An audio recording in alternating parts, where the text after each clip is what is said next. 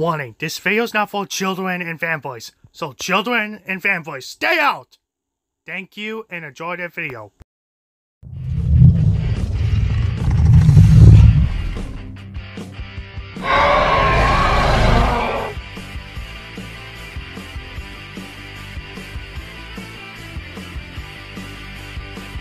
What's up guys, Sky here, and I'm going to expose someone, and that person is CarnoProductions.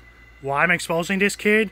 Well, I used to be friends with him, but not anymore since early 2020 because he decided to block me, and I found out he groomed a minor, and he admitted. Don't believe me? I'll show you. himself admitted it. He, he, he knows it was wrong.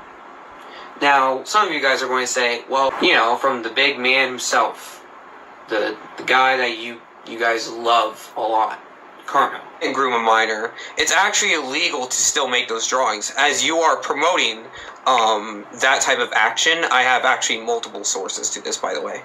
But from what I heard, uh, no one gave me actual permission to actually draw uh, the character. It doesn't And matter on the you're not- permission. You're still sexualizing a minor, regardless, and I that didn't is even still know it was illegal. minor. Even if you didn't know, you're still promoting the action. Every single excuse and argument you make doesn't literally it, it literally doesn't affect it. You you've just been checkmated. Regardless of the excuse, it is actually still illegal really is. and yeah, it's still illegal to not only um um you know be sexual towards minors, but to even promote that behavior in general, Yeah, it really regardless is. of what the context is. Mm-hmm. Doesn't matter what it is. I mean, this comes from someone whose father's a cop.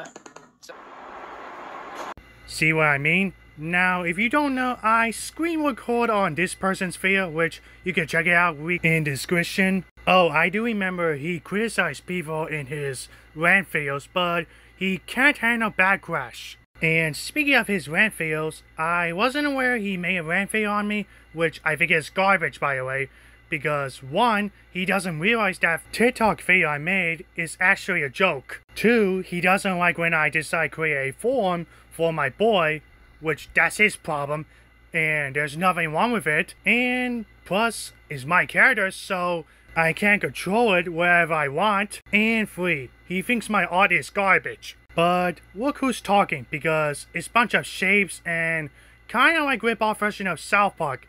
Even I don't like South Park because it's racist. Now I heard he decided quit YouTube since he got exposed. If you're his fan watching this, please try understand what he did in the past. This is Skyyler, and peace out everyone.